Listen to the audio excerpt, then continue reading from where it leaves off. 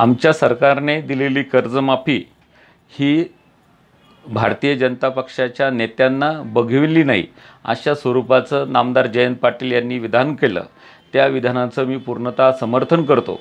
कारण मागच्या पाच वर्षामध्ये फडणवीस सरकारने स- सत्तेत येताना शेतकऱ्यांना फार मोठे आश्वासन दिले होते. शेतकऱ्यांना सांगितलं होतं की आम्ही संपूर्णतः तुमचं कर्जमाफी त्या ठिकाणी करू. शेतक शेतीवर आधारित मूल्यावर आधारित दीडपट आम्ही त्या ठिकाणी हमीभाव देऊ. पण अशा कुठल्याही प्रकारे आश्वासनं त्यांनी त्या ठिकाणी पाळलं नाही. ज्यावेळेस कर्जमाफीच्या संदर्भात फार मोठ्या स प्रमाणामध्ये संपूर्ण महाराष्ट्रामध्ये शेतकऱ्यांचे आंदोलनं पेटले त्यावेळेस फ स्वतः फडणवीस सांगायचे की मी कर्जमाफी देणार आहे पण मी सध्या त्याचा अभ्यास करत आहे. अशा स्वरूपाचे त्यांनी अनेक वेळेस विधान केलं. त्यावेळेस हे सगळं आंदोलनं टोकाला गेले.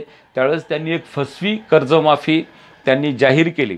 दीड लाखापर्यंत त्यांनी कर्जमाफ करण्यासंदर्भात त्यांनी फक्त घोषणा केली आणि त्याच्यावरती एवढ्या अटी लावून टाकल्या की प्रत्यक्षात मात्र कोणत्याही गावात जर आपण गेलो तर दोन चार पाच टक्क्यापेक्षा जास्त कर्जमाफीचा फायदा शेतकऱ्याला झालेला दिसत नाही.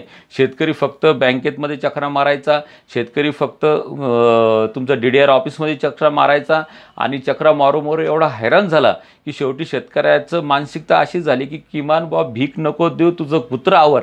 अशा पद्धतीची शेतकऱ्याची मानसिक मानसिकता त्यांनी झाली आणि शेतकरी कशा पद्धतीनं शेत शेतकऱ्यांना कर्जमाफी मिळणार नाही अशा स्वरूपाची अभ्यास देवेंद्र फडणवीसनं केला आणि त्या संदर्भातली ती फसवी कर्जमाफी मा छत्रपती शिवाजी महाराजांच्या नावाची केली. खऱ्या अर्थाने महाराजांचा सुद्धा तो फार मोठा अपमान त्या ठिकाणी आहे. आणि आता परवा आदरणीय उद्धवसाहेब ठाकरे आणि या आघाडी सरकारने महाआघाडी सरकारने दोन लाखापर्यंत सरसकट कर्जमाफी देण्याची घोषणा नागपूरच्या अधिवेशनामध्ये त्या ठिकाणी केली आणि संपूर्ण शेतकऱ्यामध्ये एक आनंदाचा एक लाट शेतकऱ्यामध्ये त्या ठिकाणी निर्माण झाली.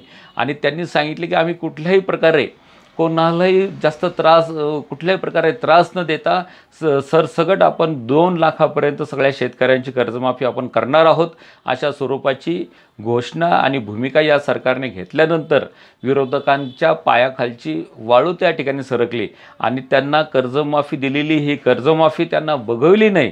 शेवटी त्यांनी सभात्याग त्या ठिकाणी केला. जयंत पाटलांच्या या विधानाचं आम्ही पूर्णतः समर्थन करतो.